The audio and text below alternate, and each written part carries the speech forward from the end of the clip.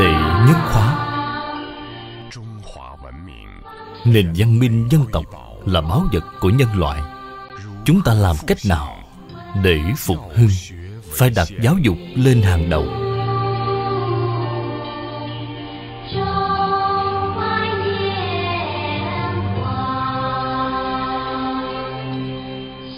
Đây là trang mạng giáo dục từ xa toàn cầu, đầu tiên về kinh điển của thánh hiền trang mạng toàn cầu cùng học tập giáo dục của thánh hiền.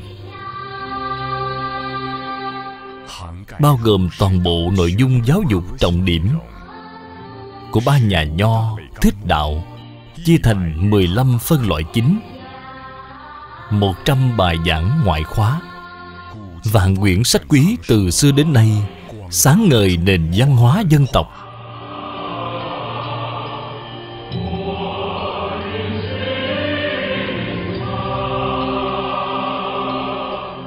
Những người đọc sách trong thiên hạ đều hướng về học tập lập chí làm thánh hiền.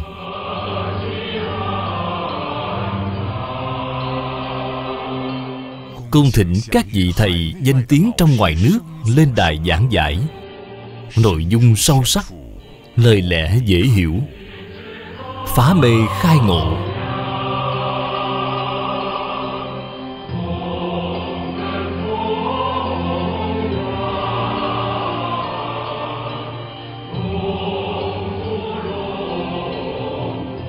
Tôn sư trọng đạo, niệm niệm không quên lời dạy dỗ từ bi của sư trưởng.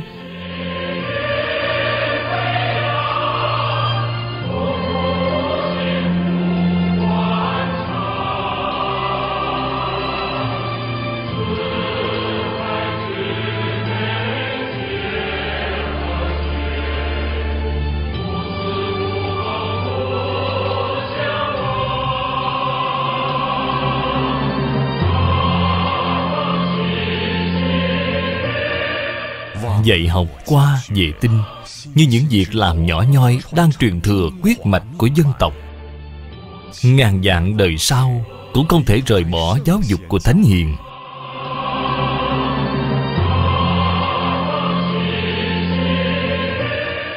Muốn quốc thái dân an, trước tiên phải tu thân tề gia. Từ mọi miền đất nước như hồng kông, đài loan cho đến các nơi trên thế giới, như hàn quốc, nhật bản, malaysia, indonesia, singapore, sri lanka, australia đều cùng học tập bốn bể một nhà. Cùng nhau cầu nguyện giáo dục của thánh hiền, soi chiếu khắp hoàn cầu thế giới cùng học tập thì muôn đời hưởng thái bình.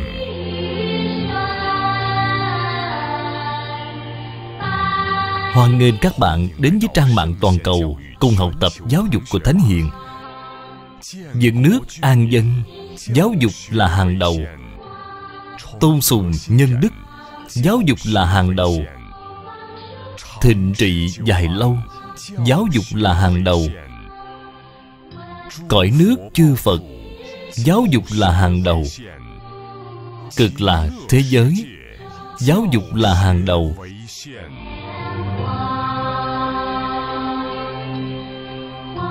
Cả thế giới hãy cùng học tập, cùng ủng hộ trang mạng toàn cầu về học tập giáo dục thánh hiền.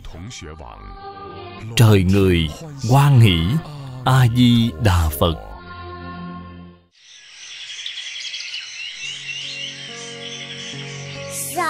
Quét rác. Quét rác. Quét rác trong tâm.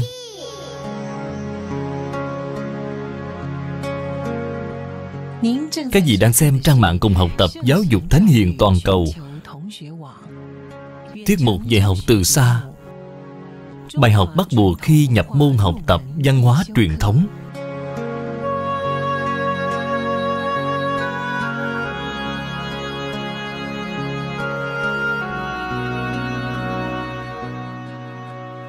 quốc thái dân an. Giáo học vi tiên.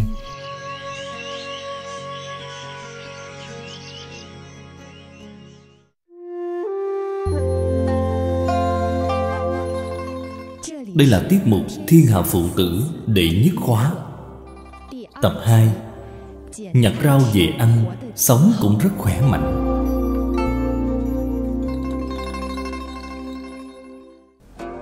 Các vị khán giả Xin chào mọi người Xin chào mọi người Xin hoan nghênh tiếp tục xem Một tiết mục mà cả thế giới đều nên xem Thật sự nên xem Vì sao vậy?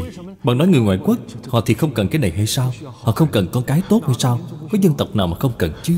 Nhưng mà không thể dạy ra được Đi tìm khắp thế giới, tìm không ra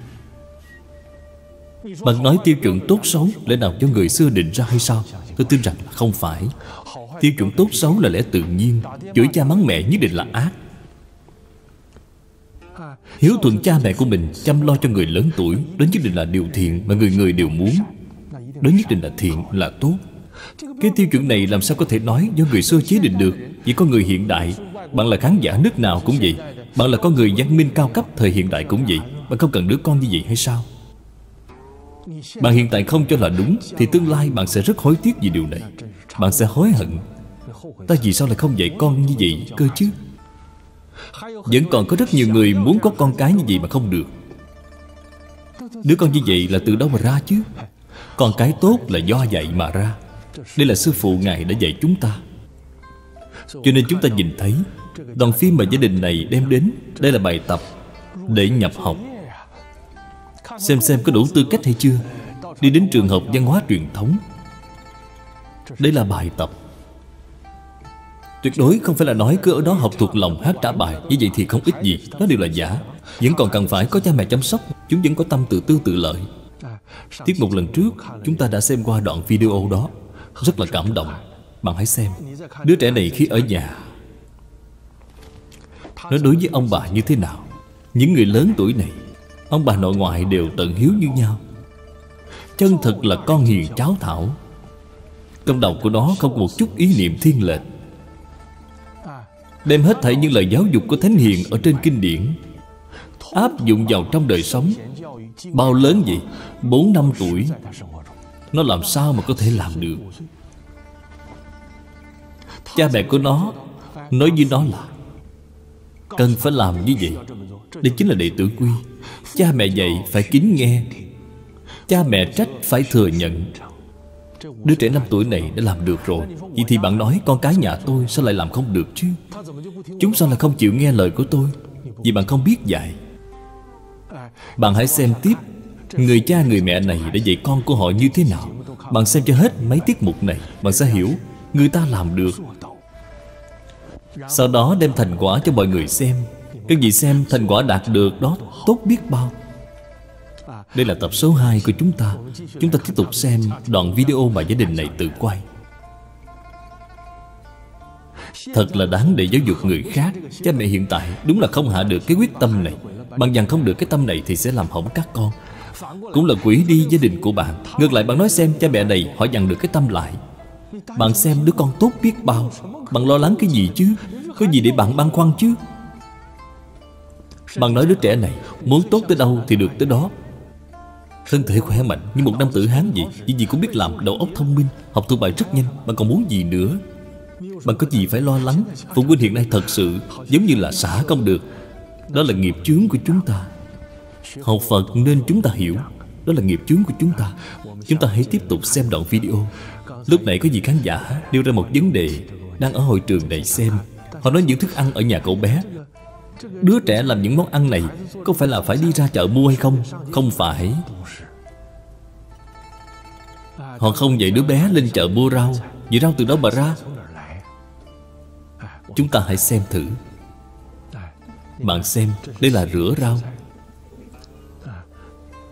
Rửa rất sạch. Mọi người xem, Đây là trên đường phố. Người mẹ và đứa con Bạn thấy có một đống rau củ trước mặt họ. Từng thứ một được đặt gọn gàng.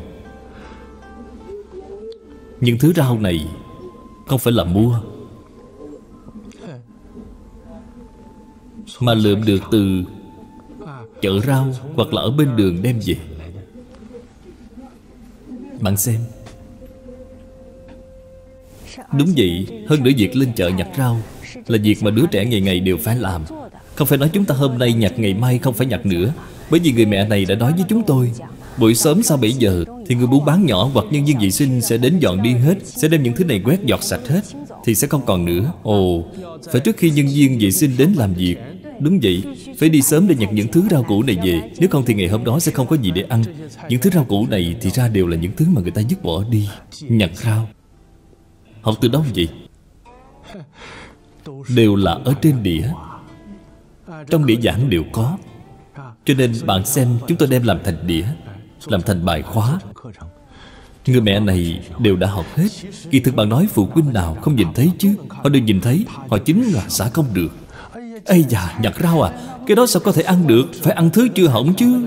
Bạn đi đến chợ rau nhặt lấy những thứ người ta vừa mới dứt đi. Người ta đều dứt bỏ rồi. Nhặt hết đem về nhà. Bạn nói xem việc này có tốt hay không? Để cho đứa trẻ này từ nhỏ đã nuôi dưỡng thành cái đức tính gì? Đức tính chịu khổ, Giản dị, Cần cù. Hôm nay không đi nhặt những thứ rau này. Thì trưa nay không có cơm cho mọi người ăn. Nuôi dưỡng như đức tính này, Đức tính tốt. Mọi người nên nhớ, Không phải là ở trên sách vở. Nhất định là phải làm được, Phải làm cho được. Chúng tôi ở nơi đây, Đặc biệt cho mọi người xem đoạn video này. Thì ra vì sao ngôi trường văn hóa truyền thống lại đi nhặt rau? Mọi người chúng ta đối chiếu một chút thì nhìn thấy. Những đứa trẻ này đều rất khỏe mạnh. Chúng tôi nhắc nhở mọi người lại lần nữa. Những thứ thức ăn khả nghi thì bạn đừng ăn. Trong thùng rác thì cái gì cũng có. Thuốc chuột cũng có. Bạn phải làm sao? Cho nên nói những thứ khả nghi thì không thể ăn. Rau củ nhặt đó phải rửa thật sạch. Sau khi đem về lặt sạch hay gọt vỏ một chút, Thì đều có thể ăn rồi. Những đứa trẻ của chúng tôi Ăn mấy năm trời mà không có sao Cũng rất khỏe mạnh. Không những thân thể khỏe mạnh, Tâm hồn cũng khỏe mạnh. Chúng có được giá trị quan chính xác, có thể chịu khổ. Chúng hiểu được cuộc sống này không dễ dàng. Bạn có thể nói người mẹ này không có tiền không? Vì sao mà lại chuyên học bài học này? Phải dạy con cái như vậy nói cho chúng biết, một bát cháo, một hạt cơm, phải nghĩ là kiếm không được dễ. Đây là câu ở trong chu tử trị gia cách ngôn. Còn cái chúng ta cứ đọc suông thì không có tác dụng gì. Phải khiến chúng như thế nào? Phải khiến chúng đích thân để mà thể nghiệm. Bạn xem đoạn này là nhặt vậy nhặt của họ có rất nhiều thứ, Đều là thứ người khác dứt bỏ đi. Dứt vào trong thùng rác. Họ nhặt đem về giặt sạch Thì nó đã có thể mang được rồi. Bạn xem đôi giày còn tốt như vậy mà đã dứt bỏ rồi. Đôi giày người mẹ này hiện tại đang mang chính là nhặt được vào lúc này. Chính là đôi giày này à? Đúng vậy, chính là đôi giày này. Cho nên nói, Không phải gia đình nghèo đến mức này, Mà là nói cho đứa trẻ biết Một bát cháo, một hạt cơm. Phải nên biết, Kiếm ra không phải dễ. Vì sao vậy? Đây gọi là giáo dục cuộc sống. Cho nên chúng tôi có một đĩa Với tựa đề là Sống. Những đứa con phá sản đều không biết trân trọng Đồ đạc. Hãy cho toàn bộ chúng ra đường hết. Để chúng tự sống bằng sức của mình. Thì chúng sẽ hiểu Cho nên bài học đó cũng là giáo dục được rất nhiều người xem Mọi người đều thích. Vì phụ huynh này cũng đã xem DVD tựa đề sống đó Cho nên họ cũng đã làm theo. Điểm đặc biệt lớn nhất của người mẹ này là lão thật nghe lời, thật làm. Từ sau khi xem tiết mục có tên là Sống ở trên mạng này Người mẹ liền bắt đầu dắt đứa con đi ra chợ nhặt rác, đi nhặt các loại rau này. Hơn nữa, người mẹ cũng nói tôi không thể tiêu tốn thêm đồng tiền nào vì đứa trẻ này nữa. Bản thân đứa bé phước báo của nó chưa đủ. Chúng tôi nhất định phải thông qua cái phương thức như vậy Để tu phước báo cho nó. Mọi người nghe những lời này thì phải nghe cho kỹ. Không học văn hóa truyền thống thì không dễ hiểu. Tự mình có tiền không xài. Sau đó thì làm gì vậy? Dẫn dắt đứa trẻ đi trải qua đời sống như vậy, Đây gọi là gì? Tu phước báo. Tu phước báo cho con cháu của mình.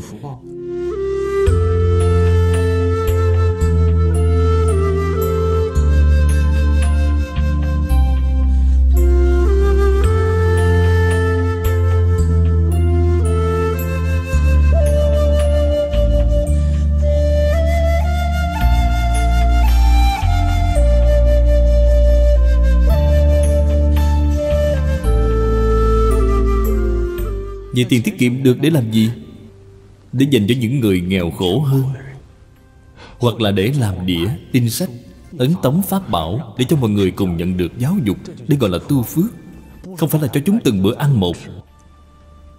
Bạn xem hai mẹ con người này. Bạn thấy Họ đi trên đường Bạn xem họ vui vẻ vô cùng. Đúng vậy Hơn nữa những thứ gì nặng Đều là do đứa bé sách. Đúng vậy.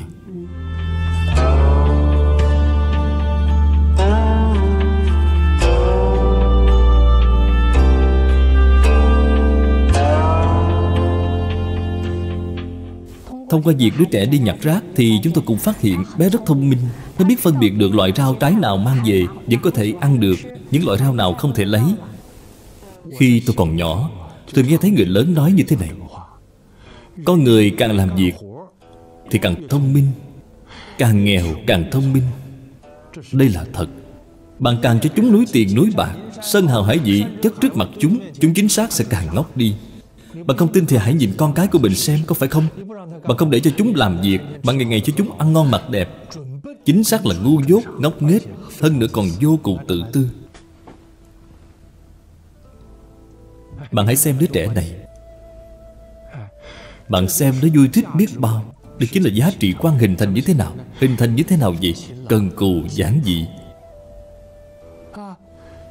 Lấy việc này làm vinh quang Bạn xem đứa trẻ này Nó sẽ cảm thấy vinh quang. Cha mẹ đã dạy như vậy, Thầy cô đã dạy như vậy. Không hề cảm thấy mất mặt. Vậy con cái nhà chúng ta, Vì sao lại cảm thấy mất mặt? Vì bạn đã dạy chúng đều ngược lại. Dư ra cả bàn đồ ăn Mà không cảm thấy xấu hổ. Thứ gì mua về cũng tiêu tốn vài trăm đến vài nghìn, Không thấy gì cả. Không cho đó là Điều xấu hổ. Không lấy điều xa xỉ làm xấu hổ. Xa qua dậm vật, Không xem đó là xấu hổ. Bạn xem đứa trẻ này Cần cù giản dị. Người khác có thể xem thường nó. Nhưng bản thân nó thì có được giá trị quan chính xác, Mới 5 tuổi. Nhưng cuộc đời của nó là có chánh tri, chánh kiến đến như vậy. Giá trị quan chính xác đã được xây dựng từ đây. Bạn xem, Không ngừng nghĩ một phút giây nào, Nó luôn luôn làm việc. Thưa Thầy, Đứa trẻ này Vì sao mà lại biết được làm việc như vậy? Vì sao không cho rằng nhặt rác là xấu hổ vậy? Bởi vì nó luôn luôn được nghe điện của Thầy giảng.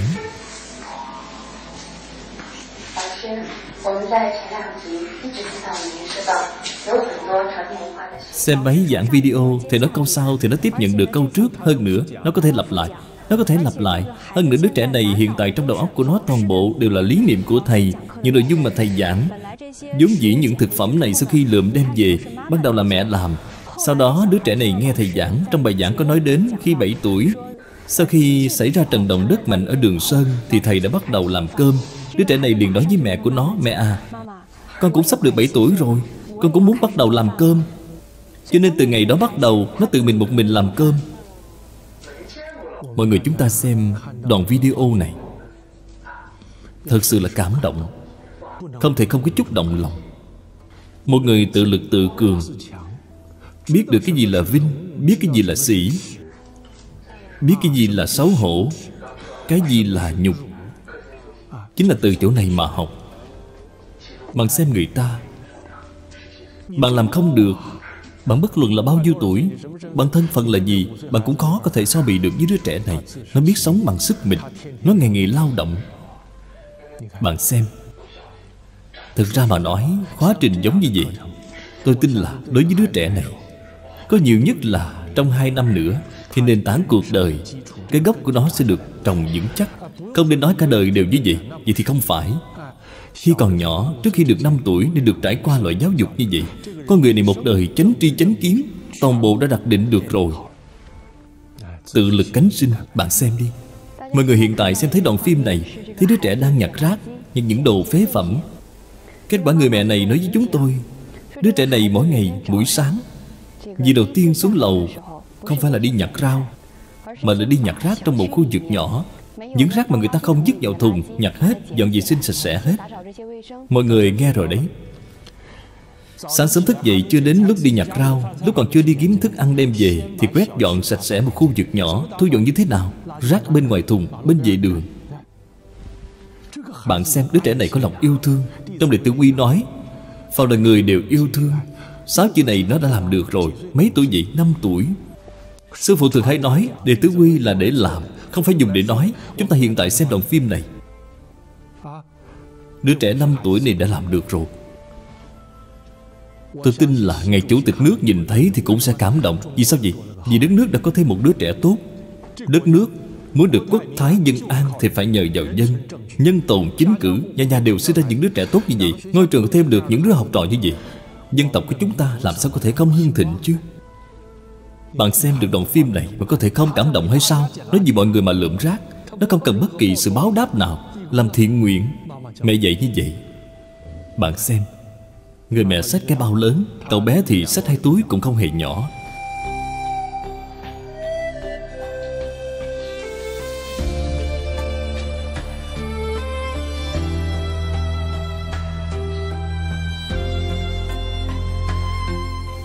Hơn nữa, đứa trẻ này khi đi nhặt rác, Có một số thùng rác.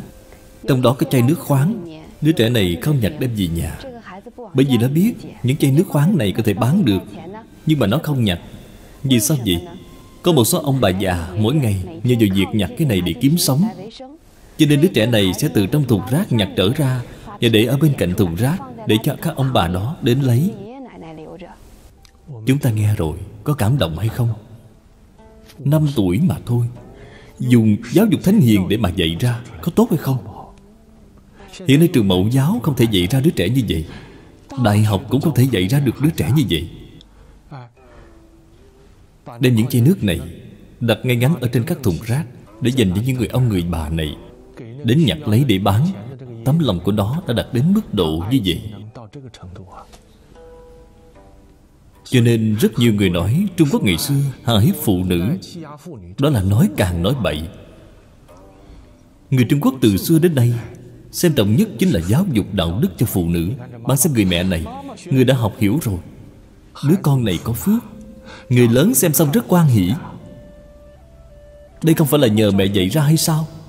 Người mẹ ngày nay thường ra ngoài đánh bài bạc, Đánh mạc trượt, Ăn uống vui chơi, Trang điểm ăn giận. Không có làm những việc này nếu không làm thì nhà của bạn thế hệ sau Không có người con tốt. Bất hiếu có ba điều. Không nói giỏi là lớn nhất. Ai làm gì? Người làm mẹ. Nếu mẹ mà không dạy, Bạn xem. Những người làm mẹ hiện nay, Bạn bảo họ làm như vậy, Họ sẽ thấy mất mặt. Bạn xem trong đầu họ đều là tà tri tà kiến. Bạn có thể nói việc này là mất mặt hay sao? Yêu thương người khác như vậy. Thánh hiền nhỏ tuổi là đây, Là hạt giống của thánh hiền. Tương lai đứa trẻ này sẽ rất tuyệt vời. Nếu như tiếp tục được giáo dục Không bị ô nhiễm, không bị thay đổi Cứ dạy dỗ như vậy.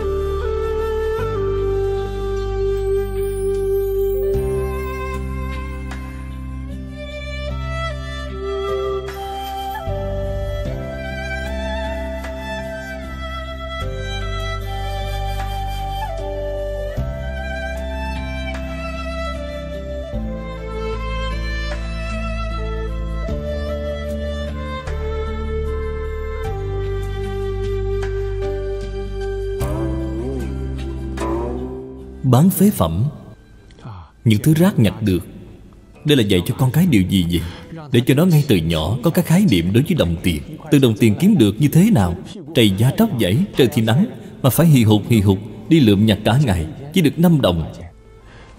Bạn xem đứa trẻ này, từ nhỏ, đối với 5 đồng, đã có một khái niệm. Nó có khái niệm với việc lao động. Nó có khái niệm đối với cuộc sống. Đây là điều đã nói ở trong bộ dvd sống. Bạn xem, họ đều đã học được rồi. Học được rồi thì ở nhà làm. Bạn xem đứa trẻ này lấy được tiền vui vẻ biết bao. Bạn xem, Đây là nó tự mình lao động, Từ nhỏ đã nuôi dưỡng thành thói quen tốt, Sống bằng sức mình. Ngoài ra, Lúc nãy cô giáo chủ nhiệm của nó đã nói lời này. Có một câu nói rất quan trọng. Người cha người mẹ này vẫn luôn chuyên nghe một vị thầy giảng, Có phải không? Đúng vậy, Họ chuyên nghe thầy Trần giảng mà thôi. Mỗi kỳ đều quan tâm theo dõi. Hơn nữa, mỗi tiết mục họ đều nghe đi nghe lại rất nhiều lần. Những lời vừa mới nói rất là quan trọng. Sư phụ Ngài thường hay dạy chúng ta, Cuộc đời này muốn học cái gì để thành tựu? Quan trọng nhất Là học một vị thầy. Một vị thầy thì một con đường, Hai vị thầy thì hai con đường. Ba vị thầy thì ba con đường, Mười vị thầy thì mười con đường. Càng nhiều thì càng loạn. Hiện tại rất nhiều người học văn hóa truyền thống 80 vị thầy họ đều nghe. Càng nghe thì càng loạn. Mỗi một vị thầy Đều có một cách dạy. Chọn cho kỹ một vị. Cái đời này nghe theo người này. Vị thầy của chúng ta, vị đạo sư Là sư phụ của chúng ta. Tuyển chọn rồi, nhận định rồi. Tuân theo quyết định đó. Như vậy là được Thì không nên thay đổi. Gia đình này chính là như vậy. Đúng vậy. Vợ chồng họ vẫn luôn xem Đứa bé từ mình cũng xem. Lúc nãy thầy giảng, Vì sao mà đứa trẻ này tự mình có giá trị quan dinh nhục? Nó không cho rằng việc nhặt rác là xấu hổ. Chính là lúc thầy giảng bài, Nó đem những điều gì là đúng, Điều gì là sai. Bao gồm cái việc nói ra, Những mặt trái của nó. Lúc vừa mới bắt đầu, Người cha cũng lo lắng, Nghĩ rằng đứa trẻ còn nhỏ như vậy, Để nó nghe những thứ đại loại như là tin tức xấu ở trong xã hội. Nghe những thứ này thì có bị ô nhiễm hay không? Ảnh hưởng hay không? Kết quả sau đó hai vợ chồng này phát hiện không những không có ảnh hưởng, Hơn nữa năng lực phân biệt của đứa trẻ lại trở nên mạnh hơn. Nó ở bên ngoài nhìn thấy Có một số bạn nhỏ cũng đang chơi đồ chơi, Cũng đang nói những lời không cung kính, Gồm cả việc có một số người đang cười nó Hay là có một số người lớn không hiểu nó. Nói là, Cháu còn nhỏ như vậy, sao lại làm những việc này? Đứa trẻ này nó đều biết, Mình làm như vậy là đúng, Quan niệm của nó rất là rõ ràng.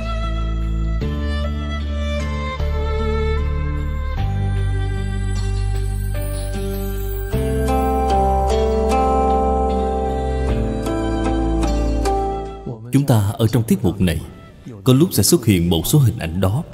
Là những phụ nữ hiện nay ăn mặc rất hở hang ở ngoài đường. Có vị cư sĩ học Phật đã nói, Những hình ảnh này không tốt Tốt chứ? Tốt ở chỗ nào vậy? Những hình ảnh này đưa lên, Thì bạn sẽ lắng nghe tôi đang nói cái gì, Đang mắng họ, Đang phê phán họ, Đang sỉ nhục họ, Để cho họ biết thế nào là xấu hổ nó gì sao lại bị ô nhiễm chứ? Gia đình này chính là đã làm thực nghiệm rồi. Đứa trẻ được dạy dỗ tốt. Bạn xem đứa trẻ 5 tuổi Đi trên đường nhìn thấy cô nào đó. Hai chị nào đó Ăn mặc quá hở hang. Cậu bé không nhìn, Nó biết là xấu hổ. Đó là gì không tốt. Năm tuổi, giá trị quan không khởi được. Cứ vậy như vậy, Bạn phải cho nó xem. Khi nhìn xem và nói với chúng. Những thứ này là ác. Là tà dại Việc này rất quan trọng. Chúng ta không nên chỉ xem hình thức, Xem bạn dạy như thế nào. Lẽ nào con của bạn không đi ra ngoài xã hội hay sao? Cái gì cũng không để chúng nhìn thấy. Chúng bước ra xã hội thì thật là ngu ngốc. Sau khi chúng nhìn thấy thì không biết phân biệt thị phi, Còn bị mê đắm vào đó. Đem những hiện tượng kỳ lạ này bày ở trước mắt. Những thứ này toàn bộ đều là rác rưởi, Đều là tà ác. Sẽ khiến cho tương lai của con bị đọa lạc, Sẽ có tai họa. Những thứ này đều không phải là may mắn, Không phải là bình an, Không phải là hạnh phúc. Nếu học những thứ này, Những thứ này không được xem, Không được tiếp xúc, Nơi ồn náo chớ đến gần, Vì không đáng quyết chớ hỏi. Bạn nói ba chữ này, Nơi ồn náo vì không đáng, Chúng không có khái niệm. Bạn hãy để cho chúng xem, Sau khi xem rồi thì nói với chúng vĩnh viễn không được xem nữa, Sau khi xem xong thì tránh né nó ra. Vậy chúng như vậy là được. Lượm rác có tốt hay không? Tốt. Cha mẹ dạy như vậy, Con cái nghe lời cha mẹ nhất. Rất quan vinh. Phục vụ đại chúng Phục vụ người ở một khu vực đó Quan vinh mà. Quan điểm dinh nhục được xây dựng như vậy. Cho nên khi chúng nhìn thấy người khác phá hoại hoàn cảnh, chúng tự nhiên liền biết đó là ác, không thể học, không thể tiếp xúc. Do vậy, phàm là người làm những việc này, chúng sẽ không qua lại. Hay nói cách khác, đứa trẻ này cả đời kết bạn đều là người tốt, đều là chánh. Bởi vì chúng thông qua những việc này, chúng có thể nhìn ra được, thông qua việc phụ nữ ăn mặc thì biết được người đó là tốt hay xấu chúng tương lai có thể nào cưới một người con gái xấu ác hay không? Năm tuổi thì đã xây dựng nền tảng rồi. Cho nên nói, Chúng ta không nên xem thường, Để giảng có tên là sống. Điều đáng nói thì quá nhiều quá nhiều. Không những là quan niệm của họ, Thân thể của họ, Các mặt đều phải rèn luyện. Hơn nữa quan trọng nhất, Con người sống, Họ không phải là miệng nói ra là được rồi, Họ là có nói có làm, Có điều suy nghĩ trong lòng. Cũng chính là nói như thế nào vậy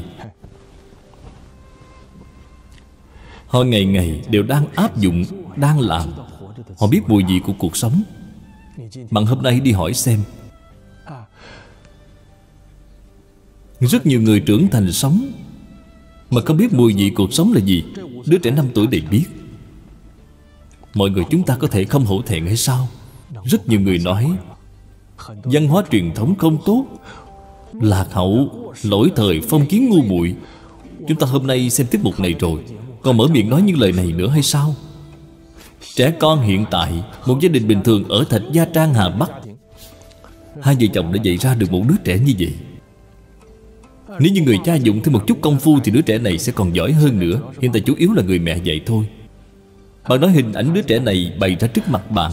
Những lời mà nó nói, Hành vi mà nó làm Quan niệm ở trong lòng của nó Chúng ta đều nhìn thấy rồi. Có tốt hay không? Giáo dục của Thánh Hiền Văn hóa truyền thống có tốt hay không? Tốt không thể tự mình nói Phải đem thành quả ra đây. Đây chỉ là một gia đình. Trang mạng toàn cầu cùng học tập giáo dục thánh hiền của chúng ta Trong ngoài nước, toàn thế giới đều có thể xem thấy. Tranh ảnh phim đĩa mỗi một gia đình đều có thể có được. Còn xem bạn có chịu làm hay không? Còn xem đất nước có thúc đẩy hay không? Mặc dù hiện tại Đại trung tiểu học, mẫu giáo Đều không thể dạy ra một đứa trẻ như vậy. Thành quả bày ra ở trước mặt Chiếu theo phương pháp này mà dạy Nhà nhà đều có thể dạy ra được đứa trẻ như vậy. Bạn nói xem xã hội này có cần cảnh sát nữa hay không? Ít nhất cũng không cần nhiều nhà tù đến như vậy. Thiên hạ Thái Bình rồi Dựa theo sư phụ Ngài đã dạy Giáo dục thánh hiền, Bốn chữ này là đủ rồi. Vì sao phải bảo cả thế giới? Chúng ta nói khán giả trên toàn thế giới Đều nên xem tiết mục này. Vì sao vậy? Để cho mọi người có hy vọng đối với nhân loại, Đối với tiền đồ. Từ con cái mà bắt đầu, Dùng giáo dục của Thánh Hiền, Đây chính là kết quả. Chúng ta thật sự đã nhìn thấy được hy vọng rồi. Cho nên, Có rất nhiều phụ huynh gọi điện thoại đến. Nói muốn cho con cái đi học, Nó ở nhà quản không được. Chúng ta hiện nay đã suy nghĩ rõ ràng rồi Bạn cũng không nên gọi điện thoại, Xem cho tốt tiết mục này. Xem xong thì Cứ dạy ở nhà. Người ta vì sao ở nhà mà có thể dạy được như vậy? Bạn vì sao lại muốn đùng đẩy cho nhà trường, Ném ra cho xã hội?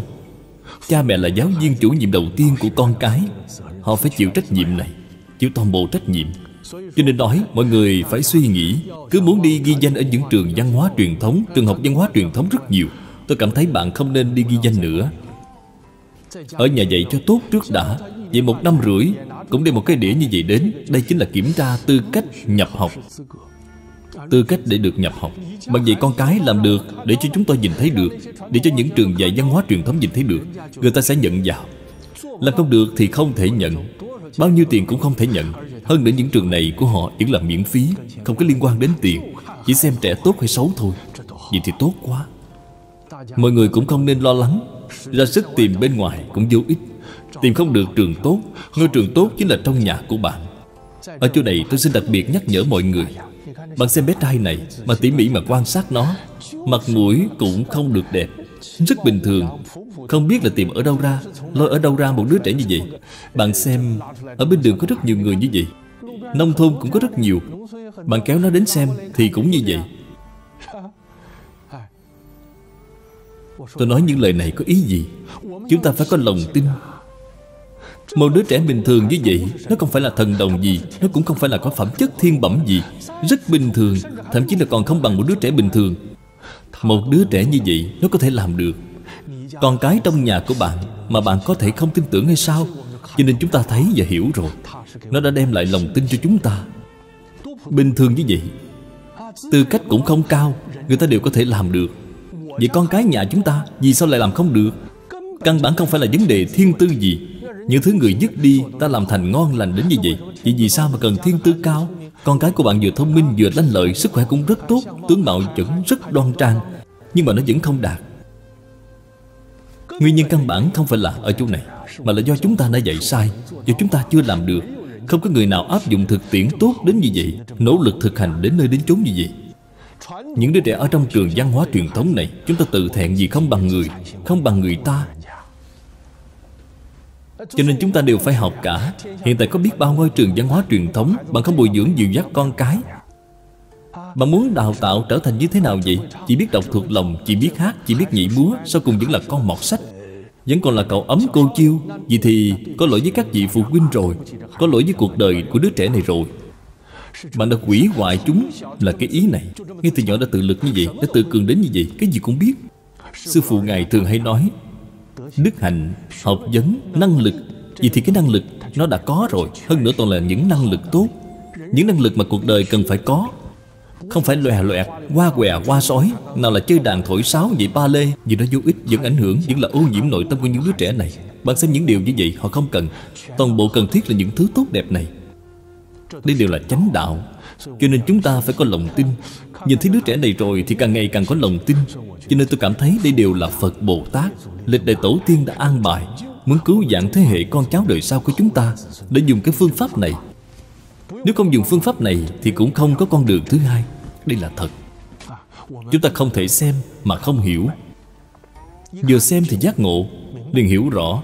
Lòng tin tăng mạnh, lòng tin kiên cố con cái của chúng ta tuyệt đối có thể vượt hơn đứa bé này. Nếu bạn còn không muốn vượt hơn nó, thì có thể đạt đến bước này thì được rồi, trong nhà bạn. Con cái bạn nửa đời sau này, trong nhà của bạn đảm bảo là hạnh phúc bình an, đương nhiên có thể vượt hơn nó thì càng tốt.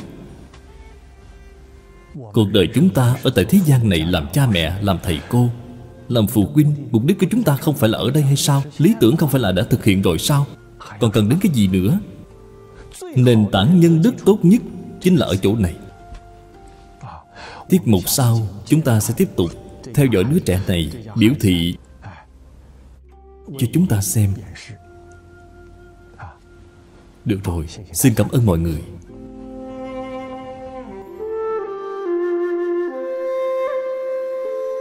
Xin chào các vị đồng học tôn kính trên toàn thế giới. Tiết mục này đến đây đã kết thúc. Chúng tôi xin được dùng tấm lòng cảm ơn vô bờ của mình Để cảm ơn tổ tiên của dân tộc. Cảm ơn tổ tiên của nhân loại Đã yêu thương đối với con cháu đời sau. Cảm ơn sự giáo dục vĩ đại của cổ thánh tiên hiền.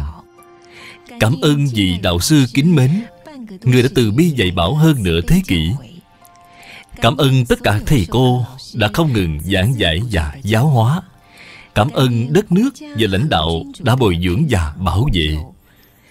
Cảm ơn cha mẹ và người thân đã yêu thương và dưỡng dục. Ân đức của thiên địa quân thân sư Mãi mãi không thể quên. Chúng tôi xin dùng công đức của việc giảng dạy, nghe giảng, tu học Nơi gương làm theo này Để hồi hướng cho thiên địa, quân, thân sư Cùng với hết thảy tất cả chúng sanh. Nguyện cầu phụng trì kinh giới Đổi tâm sửa tánh Quốc ấp làng xã Được ân giáo hóa Thiên hạ hòa thuận Nhật nguyệt thanh minh. Mưa thuận gió hòa. Vạn tai bất khởi. Quốc thái dân an. Đao binh bất động. Sùng đức hưng nhân. Tu trì lễ nhượng. Nước không đạo tặc. Dân không oan khuất. Mình không hiếp yếu. Thảy như sở nguyện. Một lần nữa xin cảm ơn các vị Đã cùng tu học với chúng tôi. Kính chúc các vị sáu thời tốt lành. Đạo nghiệp trống thành. A-di Đà Phật.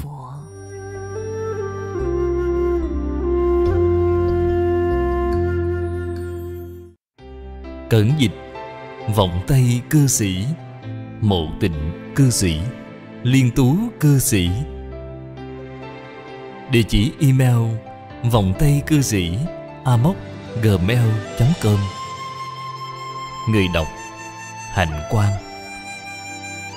Phát tâm cúng dường Do nhóm đệ tử quy thành kính cúng dường. Nguyện cả thảy chúng sanh Đều tín niệm di đà, Đồng cầu sanh về nước cực lạc. Nguyện đem công đức này Trang nghiêm cõi tịnh độ Trên đền bốn ân nặng, Dưới cứu khổ ba đường. Nếu có ai thấy nghe, Đều phát tâm Bồ Đề. Hết một báo thân này, Đồng sanh về nước cực lạc. Nam Mô A Di Đà Phật.